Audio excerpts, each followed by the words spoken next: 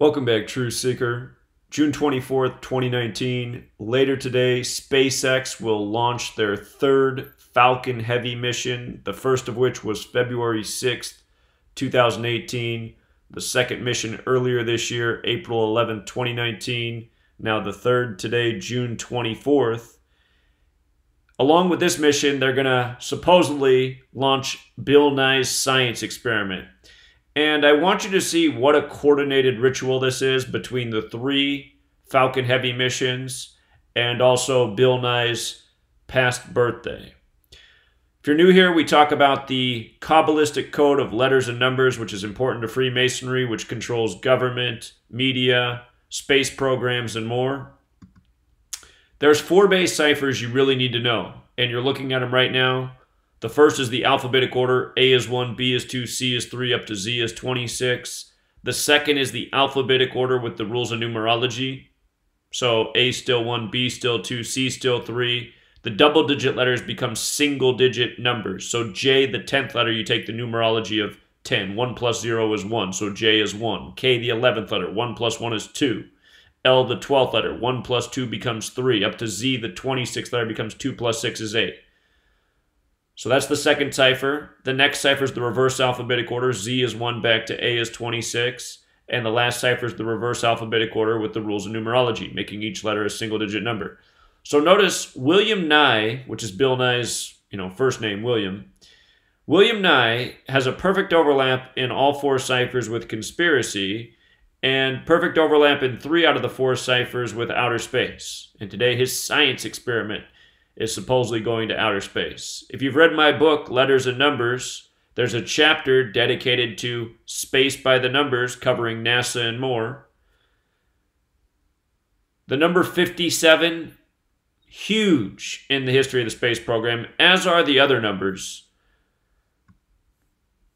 But again and again, you see the same patterns. Today, June 24th, 2019, it's a date with a life lesson number of 42. Outer space is 42, so is Freemason. Again, this code is very much Masonic. Notice Bill Nye, the science guy, sums to 223, just like Masonic and Jewish gematria. 223 is the 48th prime in Hebrew. Freemason sums to 48. Bill Nye, he was born November 27, 1955, a date with a life lesson number of 58. Science is 58, so is Freemasonry, Rosicrucian Secret Society.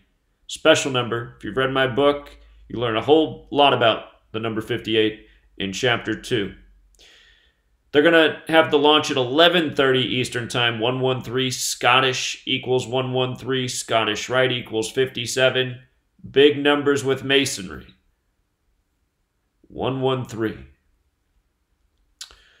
So, from Bill Nye's last birthday to this launch is his 210th day of his age. This is the third Falcon Heavy mission. And notice that equals 210. So what a day for it to launch in light of it carrying the Bill Nye, the Science Guy experiment. And today, June 24th, 19, it's also a date with 49 numerology. Falcon Heavy's 49. Scottish is also 49. Again, that's why you want to know the four base ciphers. Scottish 49 and 113, like the 1130 launch. The first Falcon Heavy mission was February 6, 2018. From that mission to today is 503 days later.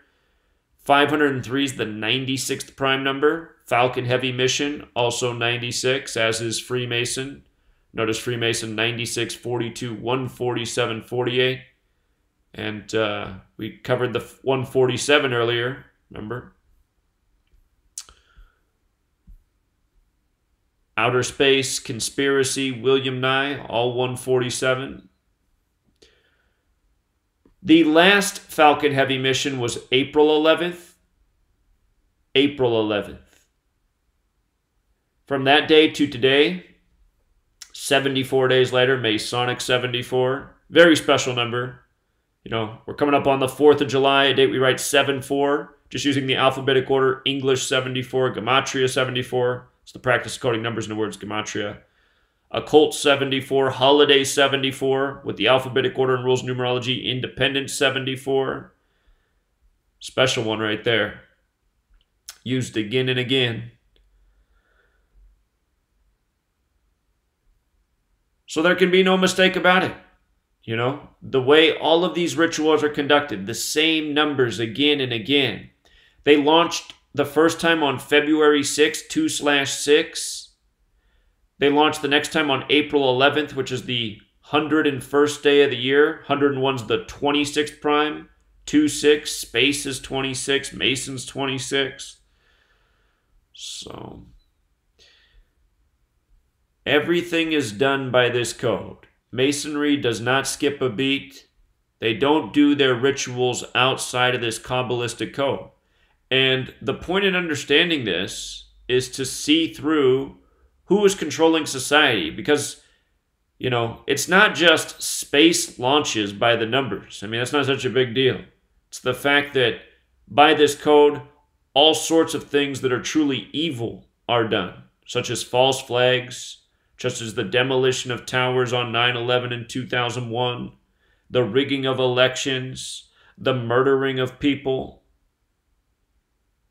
And, you know, these space launches, they possibly could be evil. If this is all a lie, if they're not really going to space and they're just doing this to maintain the illusion, that's evil. I don't make the claim that that's what they're doing because I can't prove it, but there's reason to believe that they're that is what they're up to.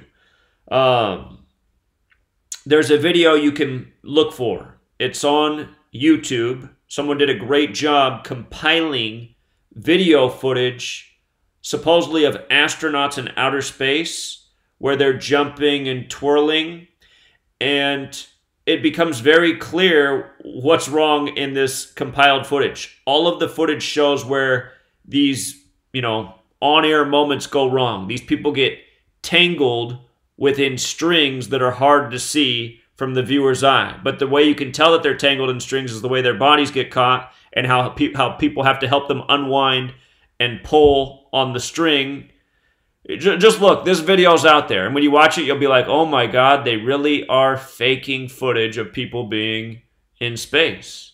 And, you know, that still doesn't disprove that they're able to go to space, but it does show that they are faking. And that's something that should concern everyone because if you look up NASA's budget, SpaceX is, SpaceX is a private program, but they do use NASA's facilities. If you look up how much money, taxpayer money, goes to NASA every single day, it's over $50 million per day. Think about that. Over 50 million per day we spend on a space program, which could be entirely fraudulent. And think about how many things in this world could use the attention at the rate of 50 million per day. How many uh, devastated communities are there in the United States? Imagine if you went day by day and you gave 50 million to devastated communities.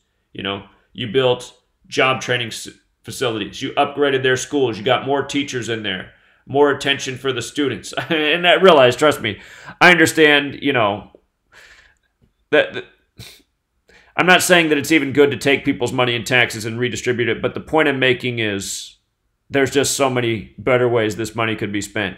Ask yourself, what has the space program ever really done for the people of the world, giving us cable television, you know.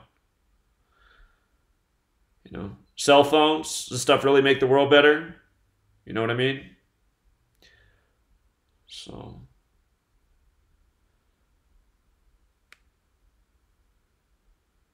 we survived before GPS, but uh, again, if you have not learned about this knowledge. I highly recommend you read my book. It's nearly 800 pages long. It's only $5. It's priced that way so that everyone can afford it. I guarantee anybody who reads that book will feel like they got their money's worth by the time they read the first five pages. Guaranteed. Till next time, Truth Seeker.